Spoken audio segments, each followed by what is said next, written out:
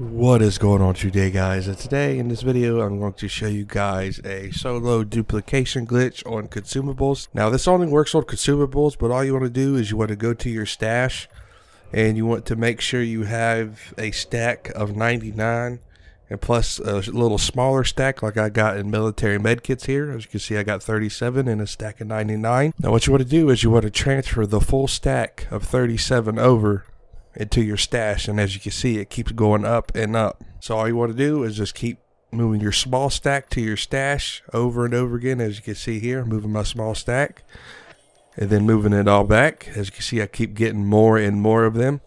Now this only works with consumables. As you can see it also does work with uh, arrows and stuff like that. If you want to like make money and do all the other other stuff, you want to make sure you do the co-op duplication glitch. If you guys do not know how to do that, I will leave a link in the description or a little timestamp in the top right corner you can click on. But this glitch is pretty simple to do. Like I said, all you want to do is just move your small stack over to your stash multiple times until it stops and just move it back.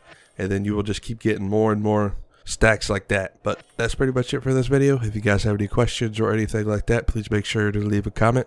And if you guys found this video helpful in any way, please make sure to hit that like button. And without further ado, I will talk to you guys later.